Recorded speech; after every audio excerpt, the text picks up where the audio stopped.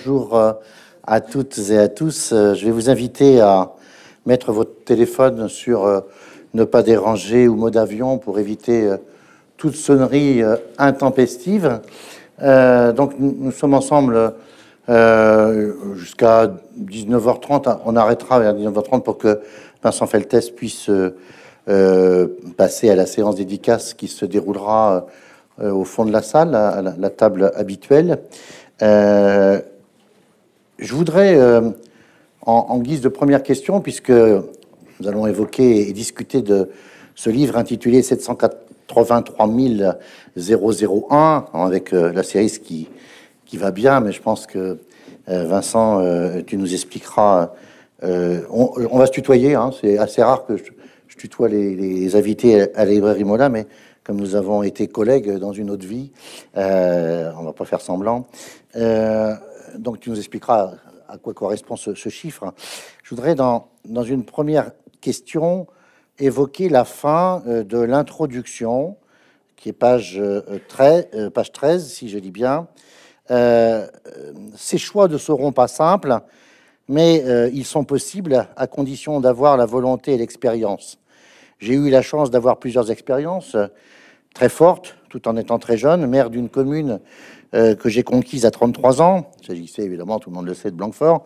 Président de la métropole de Bordeaux à 39, un des plus proches conseillers d'un président de la République, au milieu des attentats et des tumultes du monde, euh, de l'implosion des appareils politiques. J'ai fait, j'ai vu, j'ai appris. Euh, j'ai même été battu aux élections, ce qui permet de réfléchir, de prendre du recul, y compris sur soi, je ne suis donc pas dans la posture de l'opposant éternel, euh, du lanceur d'alerte. Les deux ont d'ailleurs leur utilité. Non, je suis dans la position de celui qui a géré, réussi, échoué, constaté les forces et les faiblesses de l'action publique et politique. Maintenant donc, avec de très nombreux autres, je vous propose cette audace, une rupture aussi indispensable que crédible. Alors je crois que tu veux dire quelques mots à propos des autres. La question que je vais te poser, c'est est-ce qu'il faut être battu pour euh, devenir euh, lucide? Bon, déjà bonsoir aux uns et aux autres. Merci euh, à la librairie Mola de nous accueillir une nouvelle fois. Merci à Jean que j'ai eu effectivement comme collègue à Sciences Po Bordeaux dans une vie précédente. Ce livre, déjà, c'est 783 euh, 000, c'est le nombre euh, d'habitants qu'il y a aujourd'hui sur la métropole de Bordeaux, et un, c'est vous, le lecteur. Au moment où vous lirez euh, ce livre, vous serez particulier. Ce livre, effectivement, comme le premier qu'on a fait l'an dernier sur les quartiers, émane d'un collectif hein, qui s'appelle Bordeaux Métropole des quartiers. Il y a à peu près un peu plus d'une dizaine de personnes hein, qui ont participé à la rédaction euh, de ce livre. Je ne vais pas tous euh, les citer, mais juste quelques-uns. Euh, Étienne, Cécile, Anne, Louis, Yves. Il y a une vingtaine de personnes qui ont accepté d'être interviewées. Il y a eu les photos de Yvan, qui sont très très belles photos, la, mise en page, la relecture, Joël, Céline et tout. donc c'est un ouvrage collectif. Et dans cet ouvrage collectif, hein, il y a des parties plus personnelles en introduction et en conclusion, où là c'est euh, entièrement moi avec euh, mon style hein, reconnaissable, parfois un peu lourd, hein, mais euh, bien, bien, bien, bien reconnaissable. Et effectivement, ce qui est important dans ce livre, c'est le projet que nous proposons pour la métropole bordelaise. Il y a un an, on était sur la proximité, sur les quartiers de Bordeaux, comment on réussit l'assemblage bordelais. Et là, on est sur quelle nouvelle ambition pour euh, la métropole avec des choix de changement assez euh, radicaux. C'est vrai que moi j'ai eu la chance hein, d'accéder au pouvoir euh, assez jeune. Comme maire, j'avais juste 33 ans, donc c'est quand même tout tout jeune. Comme président de la métropole. En 2001, il faut le rappeler. 2001, donc il y a longtemps déjà. métropole, j'avais 39 ans certains deviennent président de la République. Moi, je suis devenu euh, président de la métropole à 39 ans. Puis après, il y a eu euh, d'autres expériences, la défaite des municipales de 2014, l'éloignement à Paris par l'Élysée. Et tout ça, ça permet quand même de réfléchir, mûrir, maturer et euh, de proposer un certain nombre d'audaces qui nous semblent aussi indispensables que réalisables. Donc on n'est pas du tout dans le yaka faucon euh, parfois il m'énerve même cette posture du yaka faucon, mais on est aussi dans le sentiment que ce qui a été fait, plutôt été bien fait. Moi, je renie pas du tout ce qui a été fait à la métropole, même ce qui a été fait à Bordeaux, à quelques exceptions près, quoi. Mais je pense que là, il faut un changement assez radical. Alors, non seulement tu, ne remets pas en cause ce qui a été fait, mais tu as plutôt tendance à, même, euh, euh, tu disais, euh, les, les yaka faucons m'énervent, tu as, tendance à être assez, dur avec parfois les, les, critiques. Hein. Oui, la métropole bordelaise a réussi, euh, il n'est que de se promener le soir dans les rues de Bordeaux, de voir les gens prenant possession des places, des bars, des restaurants, ou encore de parcourir les quais euh, le week-end. Et il n'y a que les pistes vinaigres et les ponces petits pour le nier ou le regretter. Bon, euh, c'est vrai qu'on se dit qu'il y a un petit peu de changement, au moins et dans le vocabulaire, mais aussi dans l'analyse par rapport à 2014. C'est impossible de ne pas faire la comparaison. Ah, c'est sûr que je suis beaucoup plus libre qu'en 2014. Donc ah bah j'ai aussi une euh, liberté de ton. Euh, voilà, mais c'était pas le sens de ta question. C'était pas tout à fait le sens de ta question parce que ça veut dire si, si en 2014 euh, tu, pouvais te sentir un peu entre guillemets attaché, il y avait quand même une critique qui était, je trouve, un peu plus au rasoir de la, de, la, de, la, de, la, gestion Juppé depuis 95, qui ressemblait plus, par exemple, aux critiques qui avaient été portées par Rousset dans la campagne précédente en 2008. Là, on, a, on cherche un petit peu le, les éléments critiques par rapport au, bilan Juppé. Alors, il y en a, il y en a sans doute, mais... Non, mais globalement, moi, je suis assez euh, clair sur ce qu'a fait Alain Juppé. Je considère, ça énerve, y compris des très proches de moi, que mhm. le bilan est globalement positif. J'ai été aux affaires. En permanence, vous avez des arbitrages à faire. Ça, vous avez une comparaison. Hein. Vous avez Nicolas Florian, il est là depuis deux mois. Il s'est planté sur le BHNS, il s'est planté sur Bordeaux-Ville-Morte, il a fait quelques approximations. Donc en permanence, être élu, c'est faire ou ne pas faire. Et avec le recul, je trouve que ce qu'a fait, Alain Juppé est plutôt positif. J'ai une critique majeure, mais de toute façon, Alain Juppé a quitté euh, la vie politique nationale et locale. C'était par rapport à la question du logement et par rapport à la flambée des prix. On a longtemps, longtemps, longtemps été une ville et une métropole très peu chère. Hein. On savait qu'il allait avoir un phénomène de rattrapage. On lui a proposé des outils pour réguler ça, notamment ce qu'on appelle la, maîtrise du foncier. La, maîtrise du foncier. Mm. Pour des raisons de tactique interne, il l'a refusé. Et moi, je n'avais pas à l'époque un bloc de gauche suffisamment uni, puisque les communistes ne voulaient pas de fiscalité additionnelle. Donc mm. là-dessus, on n'a pas réussi à avancé et on le paye très très cher. Mmh. Je veux dire, euh, vous savez euh, comme moi, euh, tous les classements, on est la deuxième ville la plus chère de France et ça, on va avoir du mal à le rattraper. Donc ça, c'est une critique fondamentale qui a été faite. De même, il y a une critique sur, je trouve qu'il a longtemps été frileux sur le logement social dans la ville. Quand il arrive, il y a 15 à 16% de logement social. Quand il part, il y a à peu près 16% Il y a aujourd'hui du rattrapage, mais du rattrapage que par des grandes opérations dans des quartiers où il y a déjà du logement social.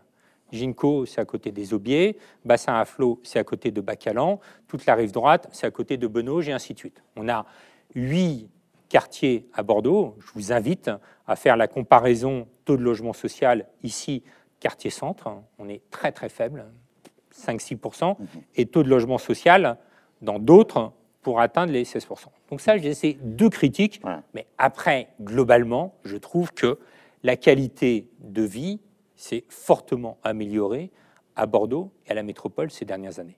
Mais quelque part, on n'est plus dans ça. On n'est plus dans le bilan, on n'est plus dans le grand homme, on est dans qu'est-ce qu'on doit faire maintenant pour les années qui viennent. Alors on va venir sur ces, euh, sur ces audaces et sur ce mot qui est le mot fort qu'on retrouve aussi euh, évidemment dans la conclusion, hein, euh, puisque c'est aussi ce qui, ce qui, la scansion de la conclusion, c'est le mot rupture. Hein, D'ailleurs, au point que Sud-Ouest ce matin, dans, dans le pré-papier que, qui a été fait, titre hein, Xavier Sota, je ne sais pas s'il est là, mais Xavier Sota a, fait titrer euh, sur le mot rupture. On va voir en quoi il y a véritablement rupture dans, le projet. Je voudrais revenir non, plus, non pas sur le bilan de Juppé, mais sur le bilan euh, de tes années de présidence euh, à la métropole et en particulier sur ce qui a été une autre forme d'animation, on va dire, et d'agitation des idées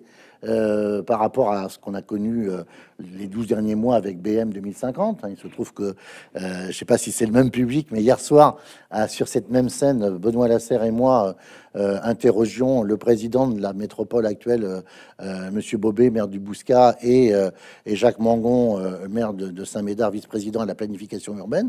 Et il y avait au premier rang Nicolas Florian et, Emmanuel Salaberry.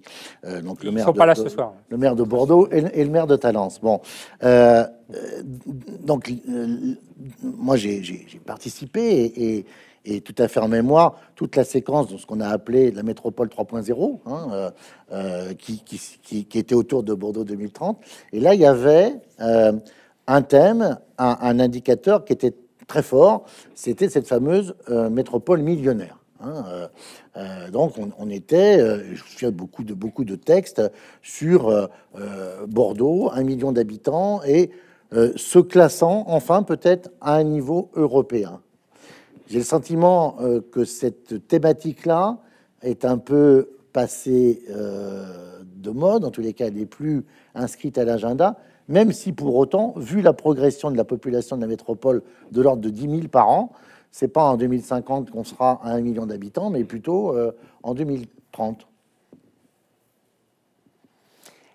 La, métropole millionnaire, je vais vous révéler un secret, euh, c'est peut-être plus un slogan marketing qu'une réalité politique. Oui. Euh, moi, je l'avais écrit même. Oui, oui, parce que de toute façon, quoi qu'on fasse, c'est plutôt une bonne chose, la Gironde gagne entre 15 000 et 20 000 habitants mhm. par an à la fois parce qu'il y a des gens de l'extérieur qui viennent, puis aussi parce que singulièrement à Bordeaux, on a un taux de natalité important. Donc de toute façon, la population euh, croît et on a fait en sorte qu'il y ait plus de construction à l'intérieur de la métropole qu'à l'extérieur, parce qu'on voulait lutter contre l'étalement urbain, mais il y avait de toute façon une espèce de euh, tendance naturelle. Alors pourquoi on a mis en avant, singulièrement moi, cette notion de métropole millionnaire? C'était euh, pour deux idées qui, à mon avis, euh, étaient vraiment pertinentes à l'époque. Aujourd'hui, je pense qu'il faut qu'on passe à autre chose.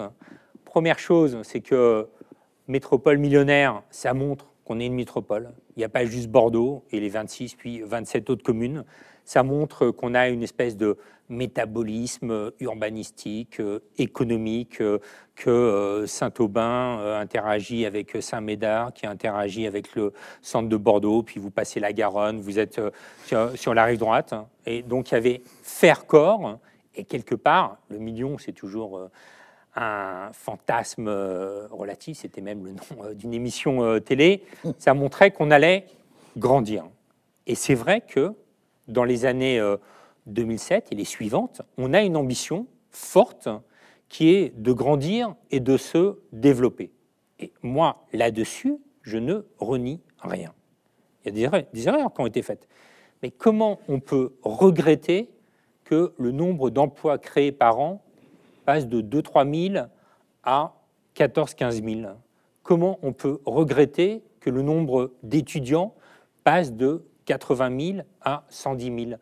Comment on peut regretter que la politique de logement social se traduise par une multiplication par deux et demi des logements sociaux par an? Moi, je suis un homme de gauche, je crois dans un certain nombre de choses, et je pense que c'était notre responsabilité à l'époque. On a aussi fait les grands équipements, on s'est aussi battu pour que la grande vitesse euh, arrive, et on est devenu terriblement attractif presque trop attractif.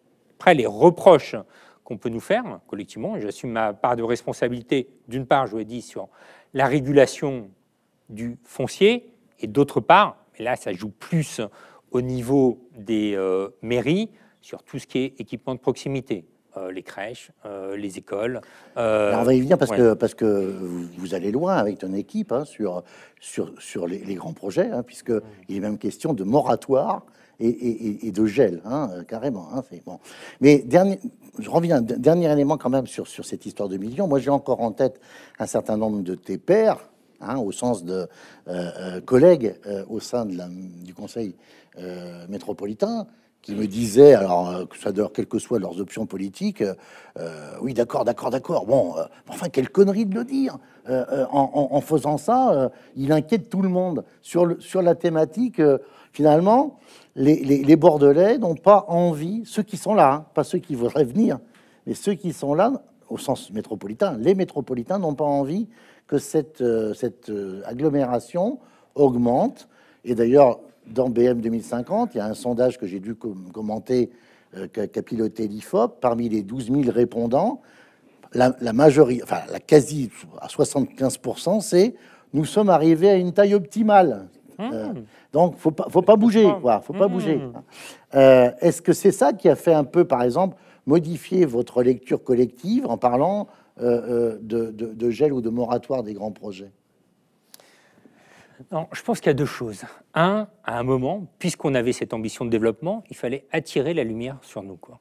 Mmh. Et on l'a attiré, la lumière, quitte à se faire cramer un peu. Mmh. Mais on a attiré euh, la lumière. On peut nous reprocher une espèce de complexe d'Icare, mais ces dernières années, Bordeaux, la métropole, est devenu l'endroit le plus attractif de France. Bah, le foncier. Euh, c'est pas rien. je veux dire, euh, je veux bien qu'on ergote, je veux bien qu'on mégote, je veux bien qu'on dise euh, c'est une bêtise, mais à un moment, on avait une ambition, et cette ambition, on l'a concrétisée.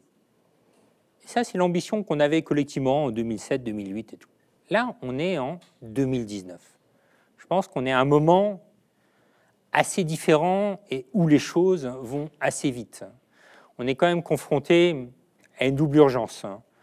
Urgence sociale, qu'on a vu au mouvement des Gilets jaunes, parce que simplement le gilet jaune, c'est aussi euh, besoin de signaler qu'on existe ou qu'on ne voit pas. Je rappelle juste qu'à Bordeaux, il y a 17% euh, des gens qui sont euh, en dessous du seuil de pauvreté, que sur la métropole, il y a 4 à 5 000 foyers qui n'ont pas l'eau, qu'il y a 18 000 chômeurs à Bordeaux, et que ici, 100-150 mètres, vous avez des marchands de sommeil. Je ne parle pas du cours de l'Isère, hein. mmh, je parle mmh. ici dans l'hypercentre. Donc il y a quand même cette question de comment socialement on fait les choses.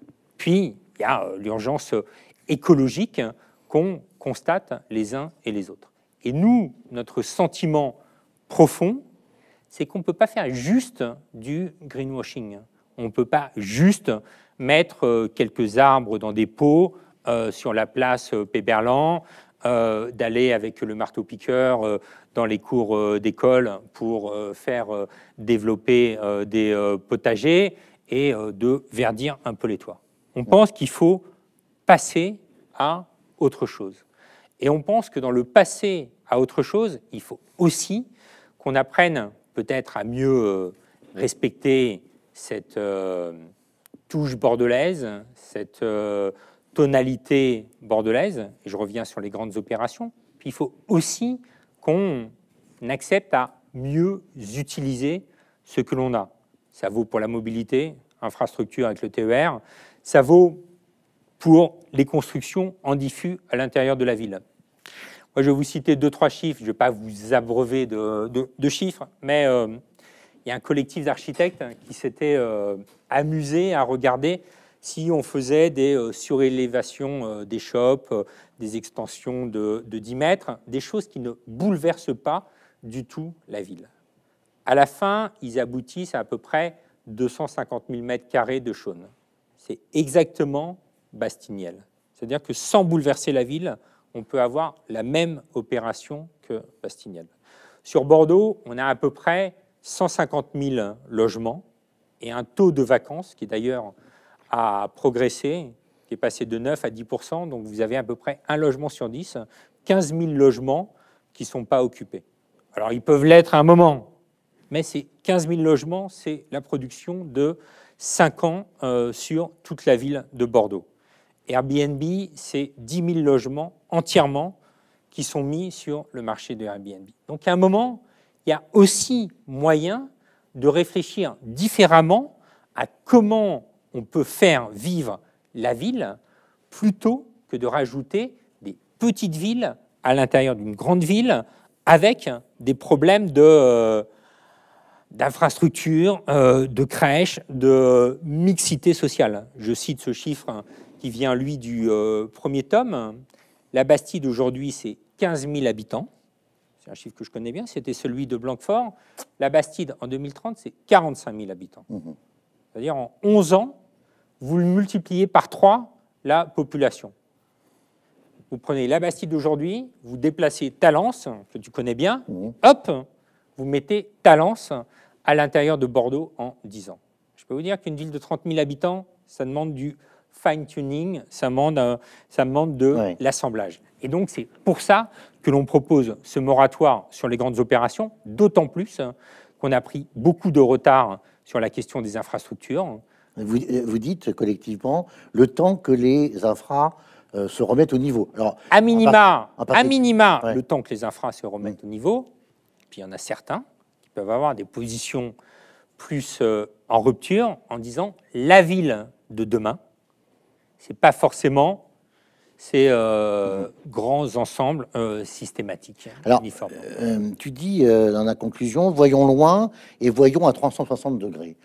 Dans le voyons loin, il y a la référence à un outil, comme tu le dis, qui est le train. Hein, moi, je me souviens d'avoir, pour avoir suivi pendant des années le conseil communautaire, c'était toujours la, prise de parole du groupe communiste et entre autres de Max Guichard. À chaque fois, tout le monde rigolait en disant ça y est, il va encore parler du train. Voilà, bon, la ligne de ceinture. la, bataille du rail. Ah, la bataille du rail qui était adossée un peu du rail de fait, en effet, euh, entre, entre vous. Aujourd'hui, j'ai l'impression que ça fait plus rire personne euh, et tout le monde prend ça au sérieux au point que euh, des gares vont se rouvrir. Je pense évidemment, entre autres, à la Médoquine. Bon, Là, il n'y a pas beaucoup de différence avec le projet euh, dans ce qu'on lit dans BM 2050. Bon, concrètement, c'est quoi l'idée là? C'est d'utiliser la ligne de ceinture pour euh, favoriser des mobilités de, point à point à l'intérieur de l'agglo, c'est ça? Non, en fait, il y, y a, deux idées. Il y a première idée qui est la ligne de ceinture et éventuellement un bout de tramway supplémentaire pour faire le bouclage entre euh, ce nom pont rouge et, et quoi, mhm. pour qu'on ait euh, des circulations circulaires, parce qu'on en a besoin sur la métropole. Donc ça, c'est euh, la vieille bataille du groupe communiste. Et moi, je l'ai dit, hein, je pense que finalement, c'est eux qui avaient raison, quoi, mhm. et que nous, on est parti dans une espèce de fuite en avant sur le tramway qui a atteint ses limites. On avait fait une tentative à Blanquefort avec le tram-train qui finalement est devenu juste du tramway, quoi, et on était dans le euh, tout tramway. Donc ça, c'est la première idée. La seconde idée, c'est de dire que la métropole de Bordeaux, aujourd'hui, ne peut plus vivre de manière autonome ou autarcique. Là, je fais un mea culpa. On a eu tendance, hein, pendant des années, à plus se comparer euh, à Toulouse, à Nantes, à Lyon, euh, à Bilbao, qui étaient en avance par rapport à telle ou telle métropole et à moins considérer les territoires à 20, 30, 40, 70 km si on va euh, dans le Blayais ou euh, mm. dans, dans, dans, le Nord-Médoc. Et on pense qu'il y a un outil fantastique d'aménagement du territoire qui est le TER. Que donc là, il faut accélérer la fréquence des TER. Il faut qu'on puisse aller de Libourne jusqu'au bassin d'Arcachon sans changer de train à la gare Saint-Jean. Et donc ça, c'est ce qu'on appelle le RER e métropolitain. Sauf qu'il y a deux interlocuteurs à mettre dans, la boucle, si je puis dire.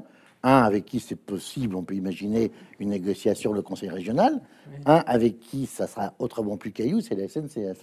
Non, les deux interlocuteurs sont OK. J'ai pu encore le vérifier euh, récemment on va juste avoir un problème de choix budgétaire. Bah, la SNCF doit être d'accord, sans aucun problème, bah, pour que ce soit vous qui payez. Non, non. Bah, de toute façon, la SNCF considère qu'elle n'est qu'un opérateur. Mmh. Donc, euh, ce n'est pas à elle euh, de faire ou d'avoir euh, ou, d'avoir un déficit. Mais après, il y aura des vraies questions tarifaires. Quand vous prenez le train, par exemple, pour aller de Parampuire à la gare Saint-Jean, mmh. Vous y allez assez rapidement, mais vous payez entre 4,50 euros et 5 euros. Quand vous prenez le tramway, non pas de Parampuire, mais de Blanquefort à Gare Saint-Jean, alors c'est compliqué en ce moment ce qui est arrivé au parking Salinière, vous payez 1,70 euros. Donc il y a un moment, vous avez pratiquement un rapport de 1 à 3, Et euh, si la métropole veut une billetterie unique, il va falloir qu'elle finance. Donc là, on est plus sur une question euh, financière de choix politiques. que sur une question technique. Et à un moment, il va falloir faire des choix politiques parce que le budget de la métropole, même si c'est un budget important, bah, il y a des contraintes. Ou on va toujours, toujours, toujours plus loin dans le tramway, ou on considère que le train est une infrastructure très intéressante hein, parce qu'elle est là et en plus, elle dessert toute la rive droite et malgré tout, c'est là que la population se développe. Alors, on arrive en rupture. Euh, il y en a une première qui, à mon sens, va faire du bruit, c'est de lutter contre le stationnement de surface, et en particulier à l'intérieur d'une ligne, si j'ai bien compris, euh, je redis, euh, Tourny, Gambetta, enfin, Garonne et Tourny, Gambetta et Victor Hugo à Arnouzan. Sur la question automobile, hein, on a deux propositions j'ouvrirai le débat moi-même sur le péage urbain. Mhm. Euh, un, on pense que dans le centre de Bordeaux, il faut euh, étendre la zone piétonne. Euh, ça comprend quelques rues supplémentaires, mais globalement, vous allez du CAPC, de la rue Ferrer, jusqu'à jusqu'au cours Victor Hugo, de la Garonne, de la place de la Bourse, on supprime pas les voitures, mm, mm. Euh, de la place de la Bourse jusqu'à euh, Gambetta, Mériadec, euh, Bourse du Travail et tout, quoi. Ce qui est le périmètre élargi du dimanche sans voiture, quoi.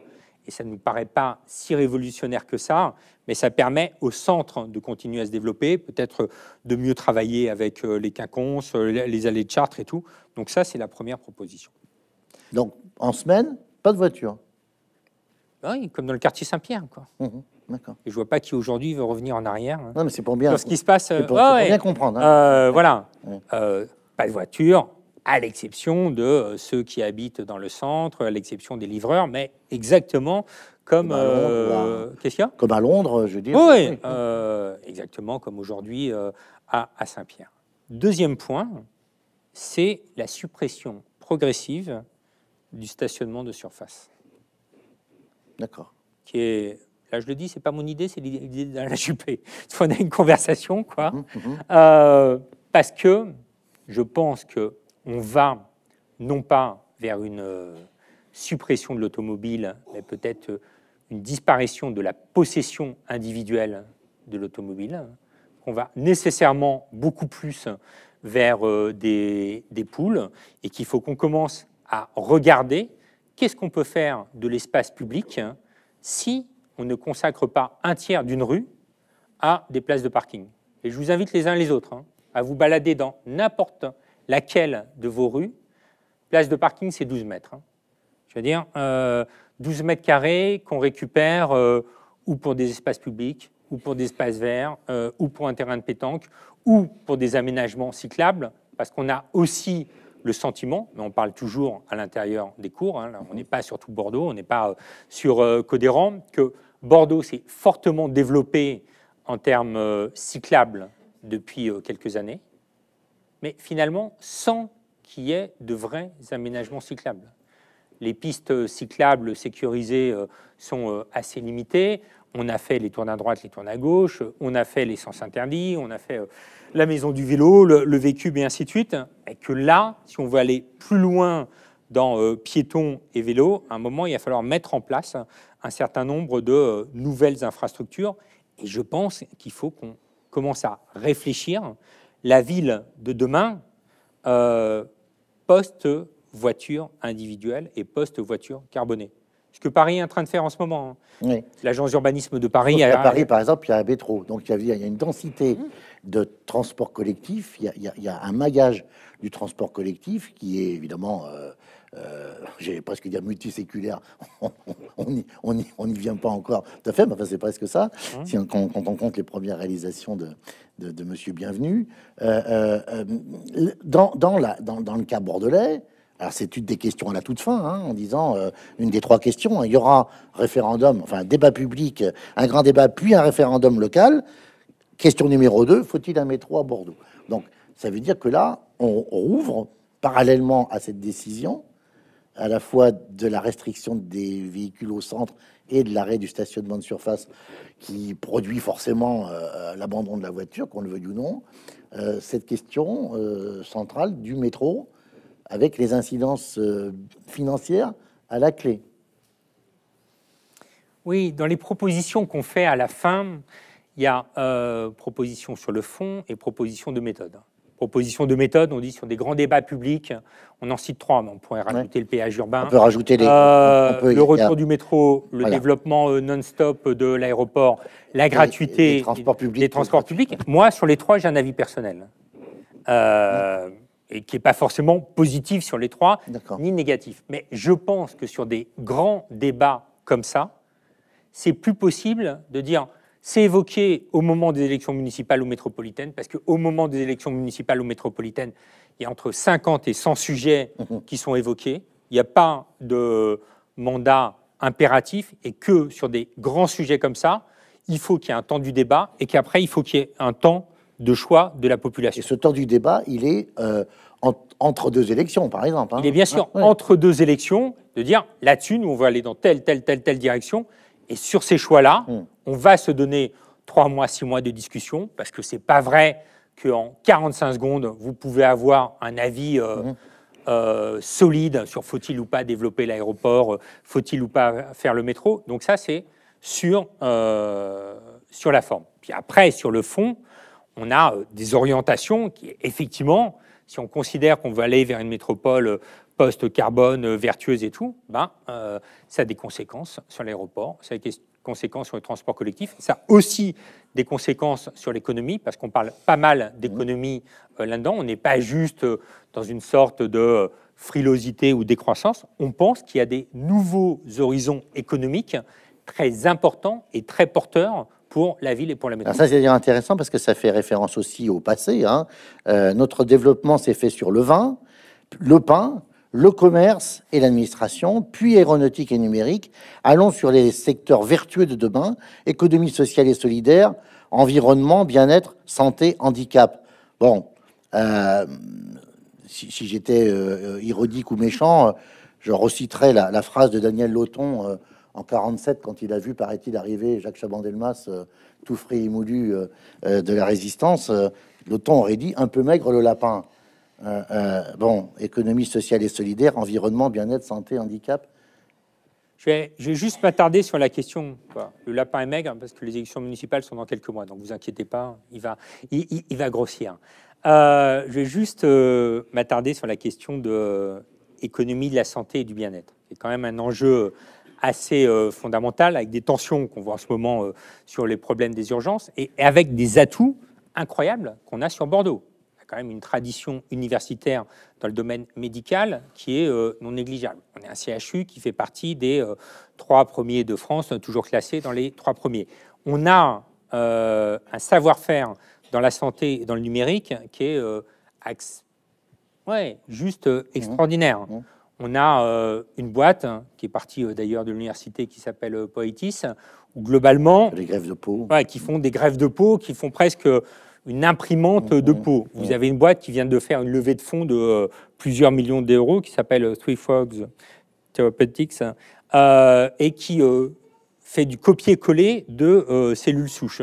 Il y a dans dix jours à l'incubateur Emera au fond de Dège, premier colloque international sur numérique et thérapie, y compris sur des trucs malin sur l'hypnose. On a euh, un centre de recherche qui s'appelle euh, Lyrique à Bordeaux avec euh, un chercheur très connu et tout. Donc on a quand même quelque chose, une densité très forte autour de ça, avec une image malgré tout de bien-être et de, et de bien vivre, à un moment où de toute façon la filière vitivinicole et agricole en Nouvelle-Aquitaine va devoir basculer. Quand vous voyez le programme TIGA sur les pesticides et tout. Donc là, on a quand même quelque chose d'extrêmement cohérent et autant il y a quelques années, on disait on va sur l'aéronautique et, la maintenance aéronautique, puis le numérique, là je pense qu'il faut qu'on mette en avant cet étendard. Mais pour mettre en avant cet étendard, parce qu'on a une masse critique en termes de savoir-faire, bah là aussi, à un moment, il faut euh, allumer euh, les clignotants, il faut allumer euh, la balise du des, des phares pour dire c'est ici que ça se passe, et on fait aussi des choix assez radicaux. Et nous, le sentiment profond que l'on a, c'est que si on veut continuer à bien vivre demain à Bordeaux et dans la métropole, ça ne va pas être juste en continuons les recettes d'avant, mais il y a une espèce de basculement.